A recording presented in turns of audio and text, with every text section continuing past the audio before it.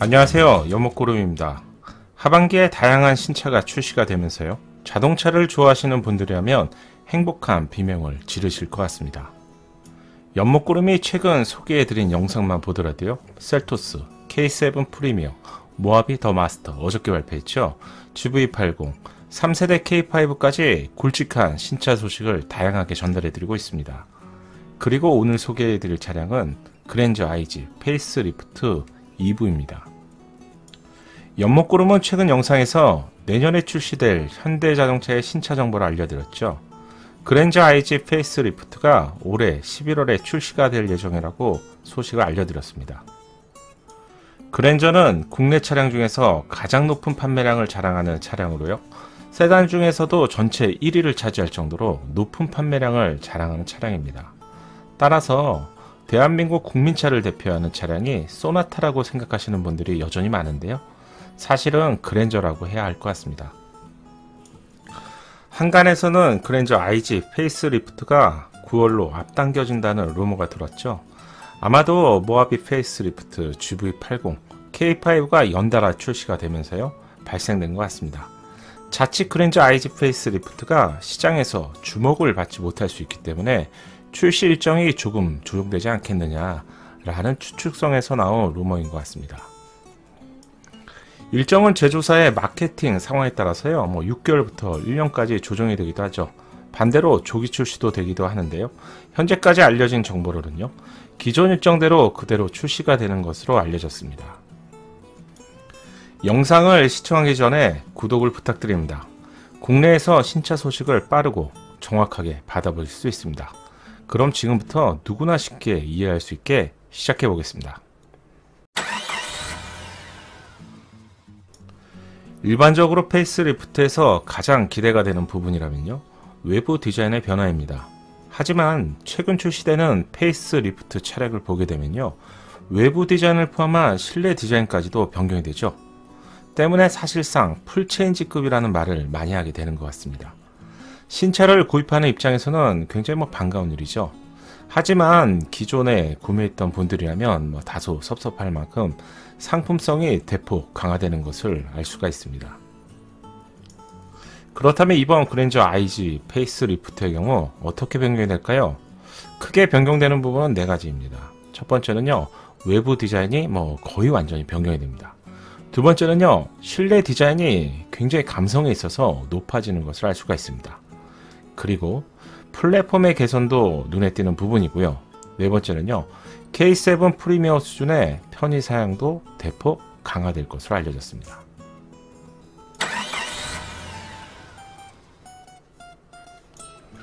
지금부터 변경될 부분을 한 가지씩 살펴보겠습니다. 그랜저 IG facelift에서 외부 디자인은 어떻게 변경이 될까요? 변경되는 부분을 그림처럼 동그라미를 연못구름이 쳐봤는데요. 사람의 얼굴에 해당되는 눈과 코와 입이 변경될 것 같습니다. 포착된 위장막 차량을 보시면요. 전면부 외부 디자인은 headlamp, 그릴, 범퍼 형상이 변경되죠. 좀 더 세부적으로 한 가지씩 살펴보겠습니다. 전면부의 경우 국내 소비자들이 다소 부정적인 입장을 보인 아반떼 삼각대 디자인의 headlamp를 찾아볼 수 있습니다. 그랜저 facelift에서 삼각대 디자인이 적용되면서요. 다시 한번 디자인 이슈가 될 것 같은데요. 이해를 돕기 위해서 가장 유명한 신차 예상도를 제공하시는 구기성 스튜디오의 예상도를 먼저 보겠습니다. 구기성 기자님의 예상도는요. 국내 renderer 중에서 가장 높은 적중률을 자랑하죠. 그랜저 facelift의 경우 삼각대 디자인이 적용되면서요. 헤드램프가 그릴 상부 안쪽으로 파고 들어가는 디자인이 적용될 것 같습니다. 하지만 아반떼를 처음 봤을 때 상당히 어색한 느낌이었다면요. 디자인이 눈에 익는 것인지 그랜저 facelift는요. 아반떼를 처음 봤을 때처럼 어색한 느낌은 상당히 덜한 느낌입니다. 그리고 중요한 사진이 최근 네이버 카페 그랜저 멤버를 통해서 공개가 되었습니다. 포착된 사진을 보면 전면부 디자인에서 일명 스포라고 하죠. 반전이 있는데 바로 헤드램프 안쪽에 점선으로 보이는 주간 주행 등이 적용된 것으로 확인이 됩니다. 어? 점선의 디자인을 어디선가 본 것 같지 않나요? 바로 경쟁 차량인 K7에서요. 테일램프와 테일램프를 연결하는 부분에 점선 디자인이 적용이 되었었죠. 차이점이라면요. 기아차는 후면부 뒤쪽 부분에 디자인에 힘을 준다면요. 현대차는 전면부에 앞쪽에 디자인에 힘을 준다는 점이죠.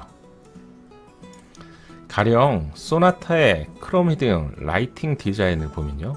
전면부에서요. 보닛 위로 쭉 해서 측면부까지 이어지죠. 하지만 기아차 K5는요. 크롬 디자인이 측면부에서 후면부까지 굵게 이어집니다. 이런 디자인의 차이점은 예상보다 많은 부분에서 찾아볼 수가 있는데요. 점선의 디자인도 일맥상통하는 디자인이라고 할 수 있습니다.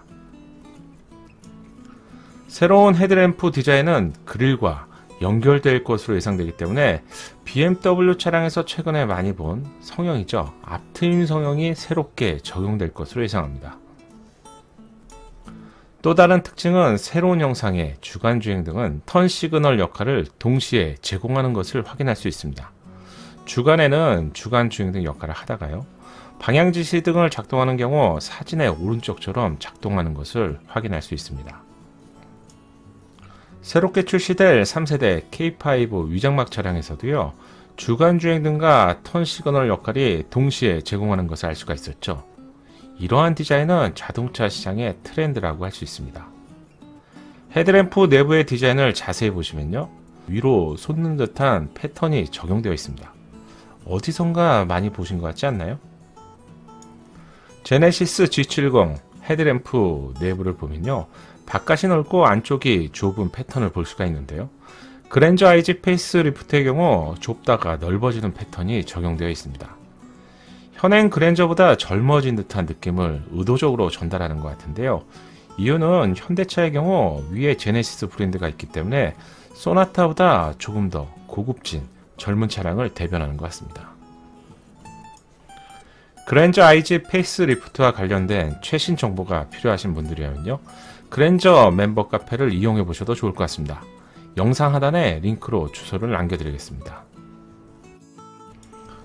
두 번째 변화는 측면부 디자인입니다. 위의 이미지가 현행 그랜저고요.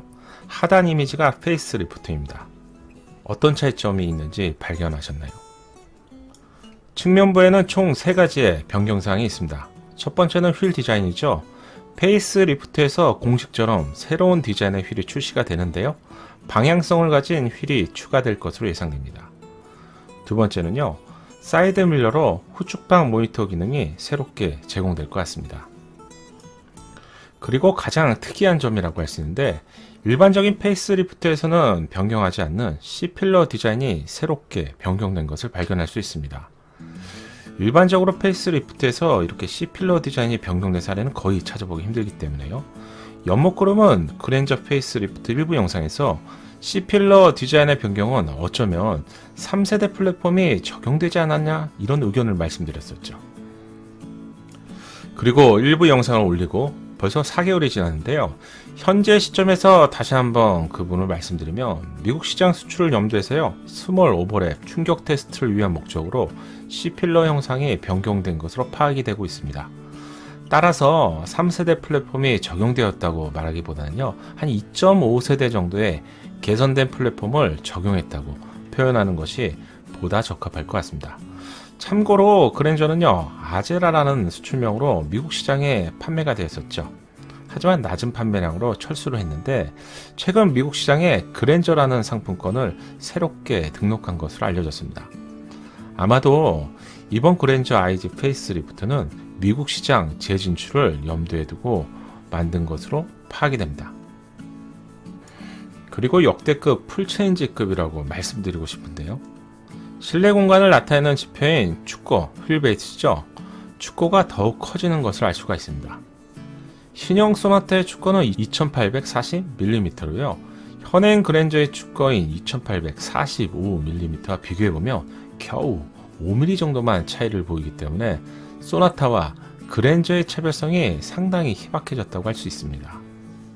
특히 신형 소나타는 실내 소재를 비롯한 디자인에서 감성을 한층 높였죠. 때문에 차별성은 더욱 줄어들게 되었는데요. 현대자동차는 축거를 현행 세대보다 크게 키운 것으로 알려졌습니다. 덕분에 차체의 길이인 전장까지도 늘어나게 되고요. 2열 레그룸 공간이 더욱 개선될 것으로 예상합니다. 후면부의 디자인도 변경이 되었습니다. 후면부의 경우 테일램프, 범퍼 형상이 변경된 것을 알 수가 있습니다. 후면부 디자인에 있어서 핵심적인 역할을 하는 테일램프 디자인이 새롭게 변경되었습니다. 현행 그랜저와 facelift를 동시에 비교해보면요. 그 차이점을 발견할 수 있습니다. 차이점을 발견하셨나요? 현행 그랜저의 테일램프와 비교해보면요. 입체적인 디자인이 적용된 새로운 테일램프는 스포티한 디자인으로 변경이 되었습니다. 신형 소나타와 비교해보면 어떻게 디자인이 변경될지 쉽게 짐작할 수 있는데요. 차이점이라면 신형 소나타의 테일램프 디자인이 위가 뚫린 U자형과 유사하다면요. 그랜저 IG facelift에서는요. 위와 아래가 즉 소나타와 반전된 형태로요. 디자인의 완성도는 그랜저 IG facelift 쪽이 높다고 해야겠습니다. 신형 소나타를 상상하면서 비교해보면요. 어떤 디자인으로 출시가 될지 대략 감이 오시는 것 같지 않습니까? 후면부 디자인을 완성하는 머플러 팁 디자인도 변경이 되었습니다. 새로운 디자인의 머플러 팁은요, 가로의 길이가 뭐 한 30% 정도 더욱 넓어졌는데요. 바깥쪽으로 확대가 되면서 역동적인 느낌을 강조하는 것으로 변경이 된 것 같습니다. 위장막을 통해서 파악할 수 있는 디자인의 특징을 연목그로가 꼼꼼하게 비교해 봤는데요. 여러분은 새로운 그랜저 IG facelift 디자인에 대해서 기대가 되시나요? 국내 자동차 커뮤니티를 보면요. 삼각떼 디자인이 적용되면서 기대보다는 실망스럽다는 반응이 더 높은 것 같은데요. 연목구름의 견해는 조금 다릅니다. 꼼꼼하게 비교해 봤더니요. 그랜저는 신형 소나타처럼 좀 더 젊어지고 싶은 것 같고요. 소나타가 30대부터 뭐 40대 고객을 타겟으로 젊어졌다면요. 그랜저 IG facelift는 역시 뭐 30대 중반부터 한 50대까지 어쩌면 수입차를 타는 이러한 타겟 등 젊은 층을 공략한 것 같습니다. 사실 요즘 50대는 청년이죠. 신형 소나타가 현대자동차의 새로운 디자인을 알리는 모델이었다면요. 그랜저 IG facelift는 현대자동차의 플래그십 세단으로 완성도가 훨씬 높은 차량으로 출시가 될 것 같습니다. 결론적으로요. 이번 그랜저 IG facelift는요. 전면부, 그리고 측면부, 후면부, 플랫폼의 개선, 그리고 실내 디자인 모두 변경이 되기 때문에 사실상 full change라고 보는 견해가 연목구름은 좀 더 맞다고 생각합니다. 여러분의 생각도 댓글로 알려주십시오. 단순 상품성 강화인 facelift라고 생각하시는지 아니면 시기를 조금 더 앞당긴 full change 수준의 facelift인지 의견을 남겨주신 분들 중 다섯 분을 추첨해서요. 시원한 아이스 아메리카노 쿠폰을 연목구름이 쏘겠습니다. 연목구름의 신차 정보가 작은 도움이 되셨나요? 이제 출시가 정말 얼마 남지 않았기 때문에 다음 영상에서는 좀 더 세부적인 소식을 전달해 드릴 수 있을 것 같습니다. 아참, 아메리카노 당첨자는요, 다음 영상 앞부분에서 알려드리겠습니다. 국내에서 신체 소식을 빠르고 정확하게 알고 싶다면 연목구름 유튜브 채널에 구독을 부탁드립니다. 공간과 알림 설정을 하시면요, 편하게 받아보실 수 있습니다. 감사합니다.